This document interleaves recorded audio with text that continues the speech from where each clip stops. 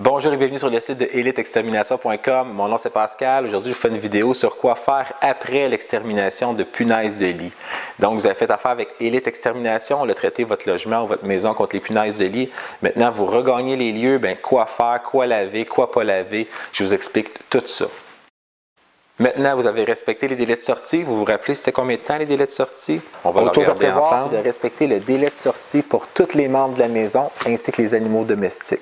Selon Santé et Services sociaux du Québec, le délai recommandé après un traitement d'extermination contre les punaises de lit, c'est de 6 heures. Ça augmente à 12 heures si vous êtes une personne avec des difficultés respiratoires, vous avez des jeunes enfants ou vous avez des allergies.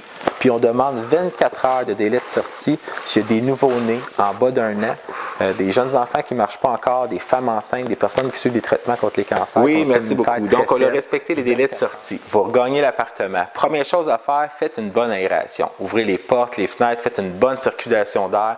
Il faut changer toute l'air que dans votre logement ou dans votre maison.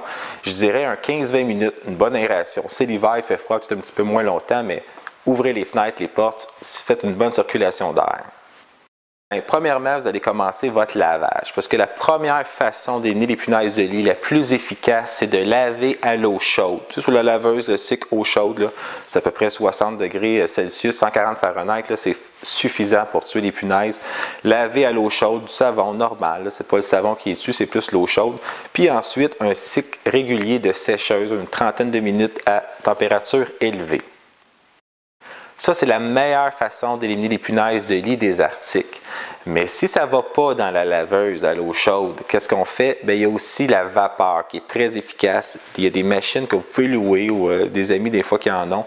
Euh, passez votre linge ou l'article à la vapeur. Vapeur très efficace. Prenez le temps de bien le faire. Faites attention à vos mains, ça brûle. Souvent, accrochez l'article. C'est un toutou, un, oreiller. Accrochez-les puis travaillez juste à une main pour ne pas vous brûler. Mais la vapeur est aussi très efficace. Ensuite, il y a aussi des articles comme des chapeaux, des ceintures, des souliers que vous pouvez mettre dans la sécheuse. Euh, il y a des sécheuses qui ont un genre de grille, de rack qu'on peut mettre. On met les articles dessus. Encore là, une bonne demi-heure, température élevée.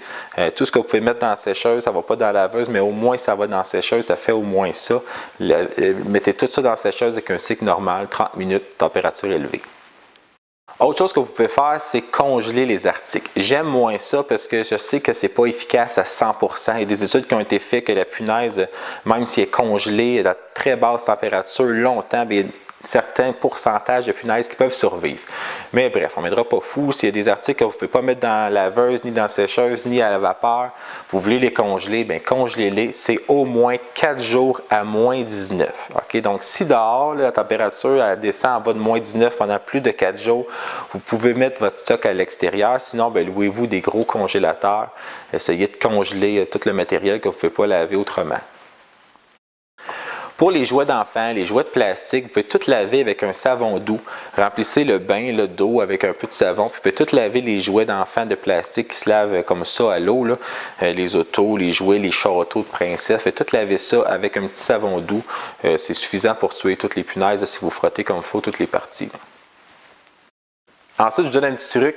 C'est une de mes clientes qui a pensé à ça. Une journée, elle a pris tous ses sacs, est allée dans une buanderie. Elle a parti comme 4-5 laveuses en même temps. Elle a tout fait son lavage du premier coup, euh, d'une shot, au lieu de le répartir sur euh, plusieurs jours, plusieurs semaines. Euh, ensuite, la sécheuse, c'est régulier de sécheuse. Puis encore là, souvent, c'est plus des machines plus, plus gros, qui contiennent plus, ça va être plus rapide, puis vous ne risquez pas d'endommager votre laveuse domestique. Vous vous demandez un gros rendement pendant plusieurs jours. Donc, une buanderie, ça peut être une bonne option.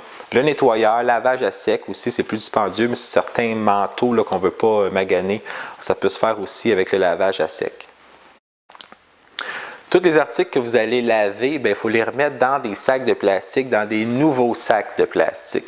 Donc, le vieux sac, on le jette, on prend un nouveau sac, peut-être d'une couleur différente, ou écrivez dessus que cet article-là sont lavés, puis remettez ça dans des sacs de plastique tant qu'il n'y aura pas eu lieu au deuxième traitement, parce qu'il faut faire un deuxième traitement pour les punaises de lit. Donc, l'idéal, c'est de garder ça dans les sacs de plastique jusqu'au deuxième traitement, et après le deuxième traitement, vous allez pouvoir ranger votre linge, vos accessoires dans vos bureaux, dans vos tables de chevet.